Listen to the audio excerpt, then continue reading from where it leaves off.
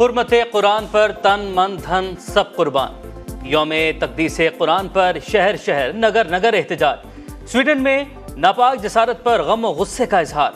कराची, लाहौर, रावलपिंडी, फैसलाबाद, पिशावर और कोयटा में आवाम सड़कों पर निकल आए। स्वीडिश मसनूआत के बाइकआउट और सफ़ीर की बेदखली का मुतालबा, मुल्तान, गुजरावाला, बहावलपुर, रहीम जार खान में भी मुजाहरे घिरौने वाकत रोकने के लिए अकवा मुतहदा से कानून साजी का मुतालबा।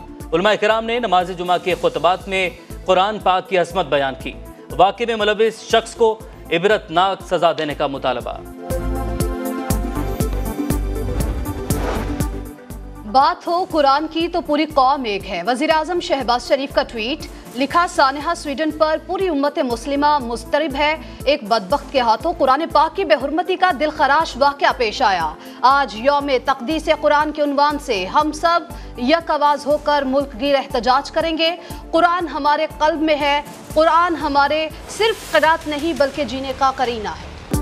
कुरान पाक की बेहरमती के खिलाफ मुस्लिम उम्मा का एहतजाज रंग लाने लगा। स्वीडिश हुकूमत का वाक़े को जुर्म करार देने पर गौर। वज़ीर कानून कहते हैं, इस हरकत ने मुल्क को गैर महफूज बना दिया है।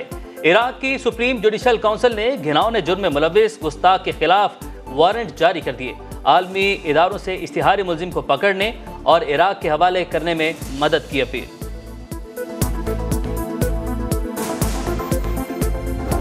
मुश्किल हालात में हमने हुकूमत की बागडोर संभाली।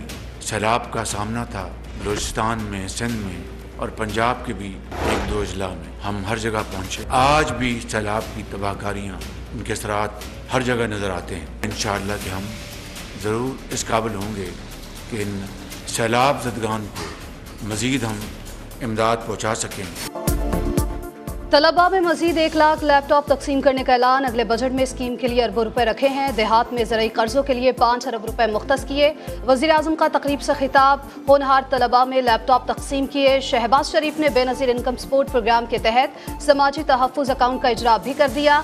बोले, मुश्किल हालात में हुकूमत संभाली। पाकिस्तान जल्द अपने पाँव पर खड़ा होगा।